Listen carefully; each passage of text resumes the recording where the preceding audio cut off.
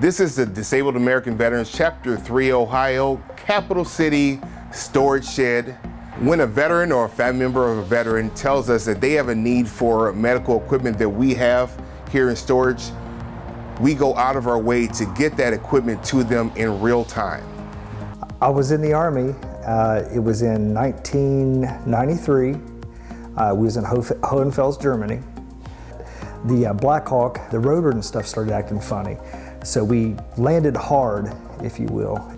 Shortly after that, I was done. Like uh, arthritis started setting in and stuff like that, and plus uh, the herniated disc and having pain issues and stuff. And I, I ended up uh, shortly after that having a heart attack and getting discharged.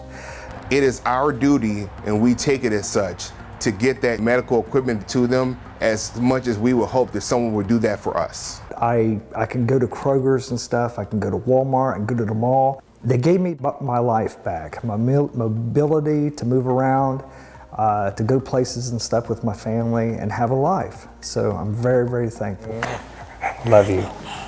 Thank you to the Columbus Auto Dealer Association. You've done amazing things by providing this donation.